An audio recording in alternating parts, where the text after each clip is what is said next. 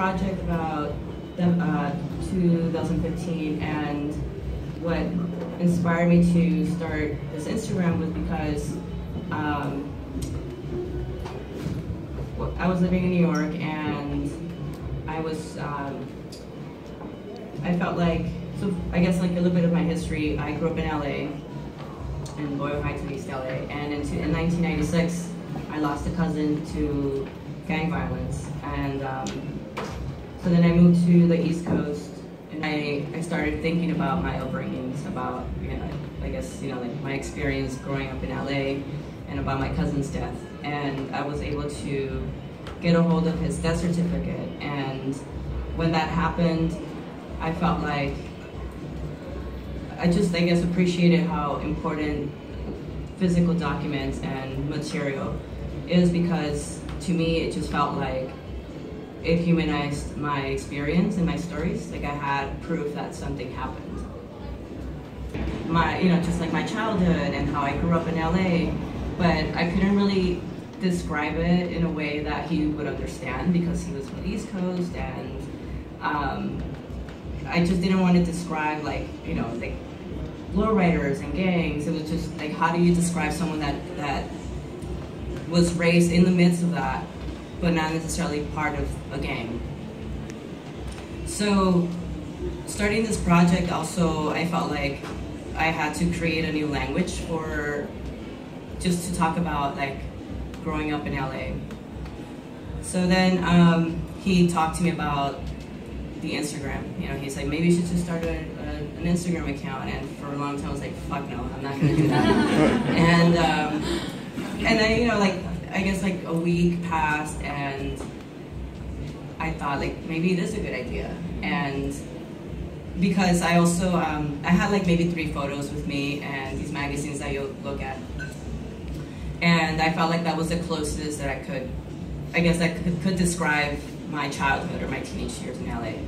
And um, so then I went for it and I started an account and I started posting, I posted three photos and some images from the Street Beat magazine.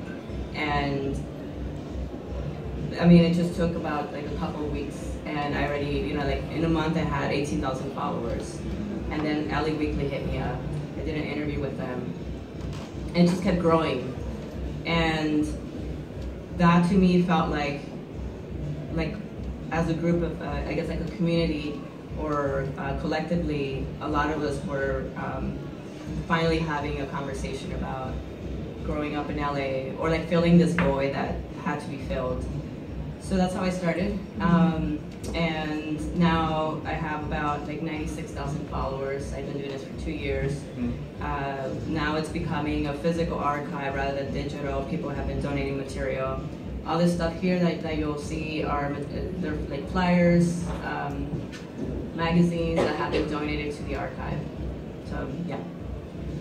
Um, I think it's really important to talk about you know what the images contain and maybe their you know social historical context. A lot of these are like late 80s and throughout the 90s, right? Yeah. Well, I start uh, from I guess I'm mostly interested in in, in photos before you could like take selfies. You know? Mm-hmm. So pre pre internet or pre social media. Right, right. Um, so I know a lot of the images are from what uh, is called party right? Party days and like partying and going and all these things. Maybe you could talk about that culture and what it was like and talk about maybe the you know, a lot of the backyard parties that are also documented and why that was happening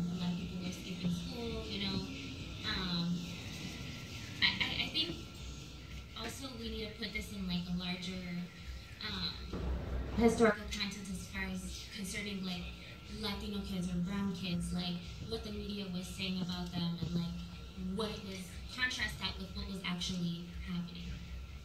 Yeah, that was another reason. I mean, it just like it just kept unfolding, and there were always there was always something that pushed me to continue. You know, like first it was my death, my cousin's death certificate, and then um, watching these Fox News videos that were put out in the 90s about, um, I guess Fox News went to our parties at one point and did this whole thing, like a coverage on, on like what like uh, the youth is that they were doing back in the day, and then pretty much portrayed us as like we were like out there like not going to school, being lazy, getting drunk, uh, ditching school. So at the time when that came out, it felt really. I mean, I was really excited about it. You know, like we were getting some sort of like recognition. You know, so um, and then after like I guess through my research and understanding this history, I realized that it was really fucked up what they were doing, wasn't it? You know, like the Mhm. way it was just like this like repetitiveness um, of like the way we were being portrayed. So now the way I see this archive is that like we, you know, I guess like the people who submit the photos are representing themselves the way they want to be represented without like relying on outsiders. hmm Right. Um, yeah, I wanna I wanna get back to authorship like in a minute, but um, I think there's something to say, you know, about. Uh, um, I know we talked about this about you know school not being a place, a safe place for a lot of a lot of brown kids. You know, um, going to school and not seeing your history taught to you. You know, you know back then, of course, like ethnic studies, like th- that was just starting, um, and you know a lot of people didn't believe exactly that you know school was for them. Like they didn't see themselves, their history being taught to them, or you know being treated like criminals. Uh, th- this continues through media characterization of Latino kids, right? Like constant criminalization, and I feel like this archive definitely like provides a complex view of of what was happening you know? These parties are like super intricate you know? Like there's a lot of organizing going on. You know you talk about like the map points instagram as well mm-hmm. and talk about how the parties were organized. People had to go to have a meetup place right? And then have call in and find the address of the party. Like you all had to get together and somehow like make it happen Uh, well, yeah, this is all uh, DIY analog. Um, we were using, we were, I mean, we had someone who designed the flyers for us. You know, these are all like 14, 15 year old kids geeking out on, on graphics. Um, and then we didn't put the address on the flyers, we used map points. And what that was was uh, it was a meeting point. Let's, let's say a gas station somewhere, or like a corner, like a, two main streets. And what we did was there was someone there.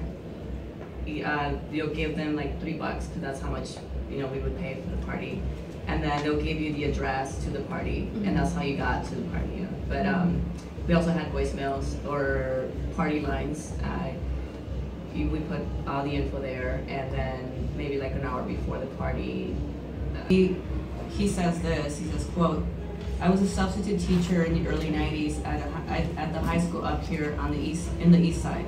Maras tells me, "The schools were to- totally corrupt, ready to crumble. I was in a classroom in Hollenbeck. They hadn't had a regular teacher in months. They had they had different types, different uh, substitutes every day, and I was like, what the fuck? Have you guys learned anything? And there were a lot of people that didn't even show up. Then I asked, where are they now? Where are they? And a lot of the times the answer was a ditch party. So